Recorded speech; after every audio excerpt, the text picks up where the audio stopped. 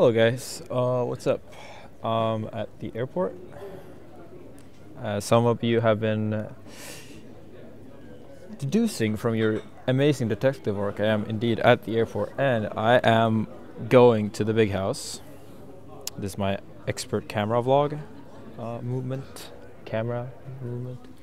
Uh, okay, so what's the deal, right? Like, I have to make this quick because uh, flight's boarding in like 10 minutes, and I just thought I'd put something up for all of you guys that wondered. So, one, why haven't I announced this sooner? Uh, I was I did an interview with Red Bull. It's probably coming out tomorrow, but like their net was down and shit, so it shit got delayed. But I thought I'd let you know it. So, uh, yeah, I'm going. Uh, but here's the other point, and here's where probably most people are going to tune out: is I am not competing in any serious fashion. Um, I'm not uh, playing Fox really, and even if I do, I'm just messing around. Like, basically, I am not trying to play. I'm not trying to win. I'm not playing to win.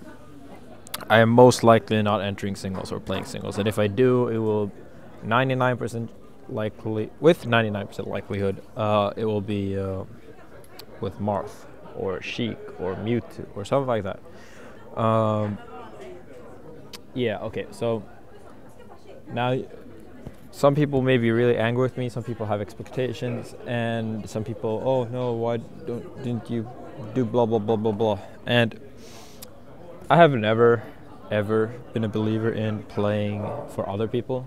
Um, I only play this video game. It's mainly my heart, my heart, my heart. Yeah. I've only ever played this game for myself. Uh, not for my mom, not for my dad, not for my girlfriend, not for Red Bull, not for TSM, not for my fans. Uh, I play this game for me because I enjoy it and I want to be the best. And it just so happens that a lot of people support me in that. But supporting me has nothing to do with like influencing me and doing anything. And but fine, like yeah, I'll explain why why I don't won't compete. But I honestly don't care about what people think about the reasons. I'm just explaining it, and if you like it, you like it. If you don't, you don't. That's all. Um, so yeah. Starting off like with the whole visa thing, I basically prepare for every tournament. I prepare for Summit one. I prepared for uh, Genesis 3 and so on. And what happened was that, you know, I practiced so hard and then I couldn't go and I kept hoping, right? Like, oh, maybe this is the tournament I'll go. So I kept practicing, and all these hours just went to waste. And like, obviously, don't they didn't go completely to waste, but you know, like all the mental prep and everything, it just like it basically went to waste. And it's I would I would describe it as like getting all of your hopes and dreams ripped out of your fucking heart.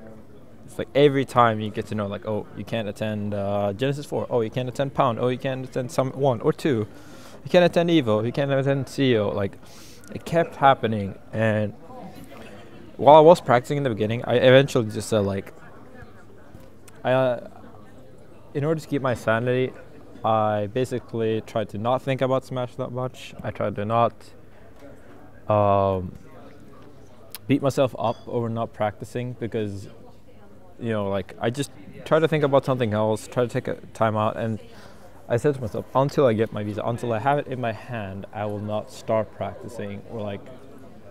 And if you know, if it happens so that like, oh, you know, big house, I could go to big house. What if I had trained like 2,000 hours this year, and then I could go to big house and win big house? Like to me, my sanity is far more important. My mental well-being is far more important than the big house six because there are other tournaments. You know, I'm in this for the long run.